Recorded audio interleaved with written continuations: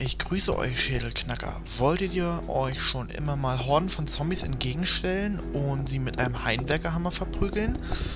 Wenn ja, dann seid ihr hier richtig und dann bleibt dran und guckt zu.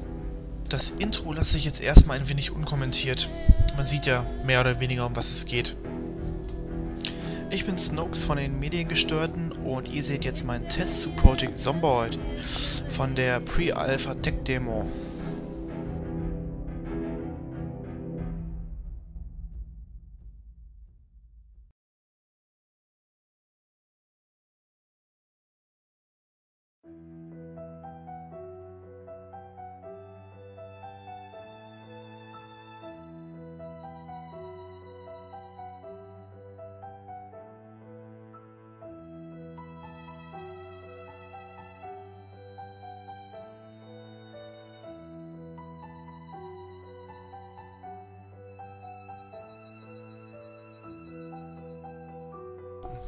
Wir spielen gerade das Spiel Project Zomboid.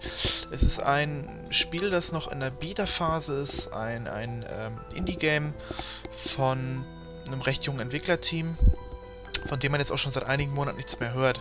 Das Spiel selber ist wirklich sehr innovativ und auch mal was richtig Schönes und im Grunde, äh, ja, ist es wirklich sehr nett. Ja, wie wir jetzt hier sehen, ist unsere Frau Kate Smith verletzt. Wir sind ihr Mann und müssen, sich jetzt, wir müssen uns jetzt um sie kümmern. Und dafür rennen wir natürlich jetzt ganz normal durchs Haus. Finde ich gleich hier ein Kissen und eine Bettdecke bzw. ein Bettlaken.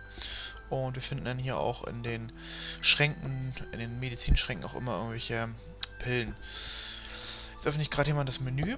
Das ist eigentlich ganz gut, da kann man durchscrollen, ganz normal. Ähm, ja, da haben wir jetzt gerade eben das Craft-Menü gesehen, erinnert ein bisschen an Minecraft. Ähm, ist aber noch nicht so umfangreich. Das Spiel befindet sich im Moment noch in der Beta, oder ich würde sagen noch in der Alpha, also teilweise ist es dann noch recht verbuggt. Aber es ist bis jetzt sehr, sehr gut. Ähm, ja, jetzt habe ich mich gerade aus Versehen ausgezogen. Das ist auch noch so ein kleiner Bug aber nichts Tragisches, denn die Kleidung selber bringt einem jetzt auch nicht allzu viel. Das ist alles mehr Kosmetik. So, äh, jetzt sagt unser Hauptcharakter hier, dass er einmal ganz kurz, ähm, ja, hinten im, im Schuppen nachgucken soll, damit äh, das Haus hier ein bisschen gesichert werden kann. Jetzt gucke ich mich hier gerade mal so ein bisschen um ja, im Grunde ist es so, wir müssen unsere Frau beschützen, wir müssen das Haus beschützen, wir müssen für Essen sorgen, müssen uns eigentlich um alles kümmern. Und ja, man kommt eigentlich durch die ganze Stadt, man kann alles erkunden. Äh, die Sachen, die rumliegen, werden größtenteils random generiert, sind aber halt immer nur äh, in bestimmten Abteilen, also bestimmten Gegenden möglich. Also man könnte immer durch ein Haus rennen, das sind immer irgendwelche Sachen. Manchmal findet man auch eine Schrotflinte, manchmal einen Hammer. Man wird aber wohl selten äh, bestimmte Sachen an, an, merkwürdigen Orten finden. Kommt aber ganz drauf an. Im Wald findet man in den Hütten ganz viel Holz zum Beispiel. Ja. Ja, Zombies sind noch keine da. Das dauert alles ein bisschen. Ähm, desto länger das hier alles dauert, desto mehr Zombies kommen.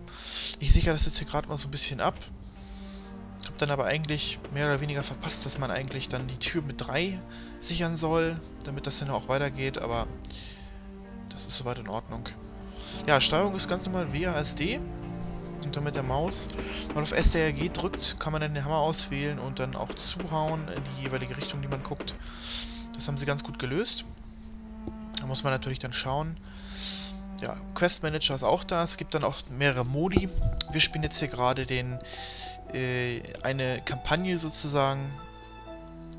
Da geht es eigentlich ja, nur darum, sich um die Frau zu kümmern und so weiter. Mehr ist das dann auch nicht. Ja, während ich das jetzt hier alles sicher, werde ich mal ganz kurz weiterspringen und wir sehen uns... Ne, wir hören uns gleich wieder. Ja, ich renne jetzt hier gerade in ein Nachbarhaus rein und schaue mal, was es hier so gibt. Nachbarn scheint nicht mehr da zu sein, deswegen, ja, denke ich mal, kann ich mir ein paar Sachen nehmen. Ähm, ja, in den Küchen liegen auch meistens schöne äh, Fressalien und größtenteils auch Nägel, Waffen, sonstige Haushaltsgegenstände. Gute Waffen gehören nicht immer dazu, aber so ein Baseballschläger ist manchmal schon im Küchenschrank.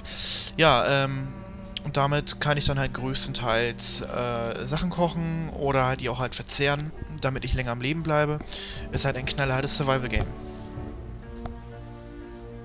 Ja, ich habe jetzt hier mal so einen kleinen Auflauf äh, in den Topf gepackt, warm gemacht und in den Ofen, aus dem Ofen geholt und ja, das äh, stärkt mich so gut wie es geht. Ähm, besser als eine Chipstüte. Und ja, äh, möglich ist es noch nicht, die Frau zu füttern, merkwürdigerweise, aber gut, die hat ja auch noch ein gebrochenes Bein, die musste ich essen. Nach einer kleinen Stärkung habe ich mich dann doch entschieden, ähm, da es langsam dunkel wird, äh, mich hinzulegen. Das regeneriert mich zum größten Teil und äh, ja, sorgt dafür, dass die Zeit schneller vergeht. Ja, plötzlich in der Nacht werden wir geweckt, denn ein merkwürdiger Mensch steht mitten in unserem Türrahmen ähm, ja, und bedroht uns. Ich greife kurz an zur Baseballkeule und hau dem Typen den Kopf weg. Schöne ist, äh, ja, ich habe die Familie gerettet und er hinterlässt eine Shotgun. Das ist also gar nicht mal so schlecht. Die nächsten Eindrücke lasse ich jetzt einfach mal so unkommentiert und wünsche euch noch viel Spaß beim Zuschauen. Ich verabschiede mich mit diesem Test hier und komme dann nochmal zum Fazit zurück.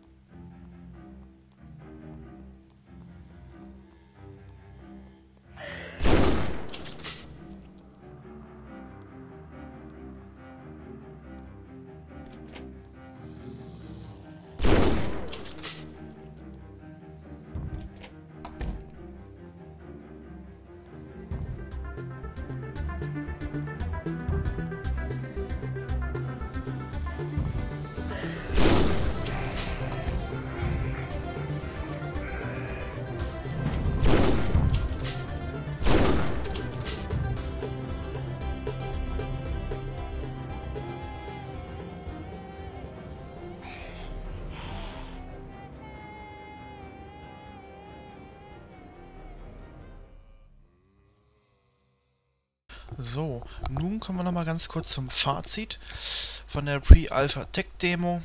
Ähm, ich bin positiv überrascht. Das Spiel hat wirklich sehr viel ähm, Potenzial. Dafür, dass es jetzt erst in der Pre-Alpha ist. Äh, ich stelle mir das wirklich vor, wenn es wirklich mal später rauskommen sollte, so auch wie damals Minecraft, dann haut das wirklich alle weg. So, also von 10 möglichen Punkten gebe ich dem Gameplay 7 Punkte. Einfach dafür, dass es sehr, sehr äh, handlich ist. Man kann sehr viel machen und es ist einfach zu steuern. Für das Game Design und die Grafik gebe ich dem Spiel 8 Punkte. Es ist wirklich sehr schön designt. Die Grafik ist auch sehr, sehr, sehr gut für so ein Indie-Game. Ähm, sehr schön viel Detail steckt äh, in den Gebäuden, in den Gegnern, in den Leuten. Dem Sound gebe ich 8 Punkte. Die Musik ist sehr stimmig die Sounds der Zombies, äh, das, man könnte sagen, der Sound brennt sich ein bisschen in, ins Hirn ein. Also ich denke mal, 8 Punkte sind da gerechtfertigt. Aber der Atmosphäre im Allgemeinen gebe ich 9 von 10 Punkten. Ja, könnte man fast gleichzusetzen mit Skyrim. Kann man natürlich jetzt nicht vergleichen, das ist jetzt die Bewertung für ein Indie-Game. Aber 9 von 10 Punkte, definitiv. Und mein Endfazit ergibt sich dann natürlich äh, zu 8 von 10 Punkten. Und ich finde, das ist schon mal, schon mal ganz gut für so ein frühes Spiel. Und falls es euch gefallen hat, geht auf die Seite. Das Spiel dürfte jetzt noch so um die 6 Dollar kosten. PayPal und Kreditkarte. Unterstützt die Entwickler. Die äh, twittern auch jeden Tag schön fleißig. Also von daher kann man da erwarten, dass da noch was kommt. Ich war Snokes von den Mediengestörten und ich wünsche euch noch einen schönen Tag.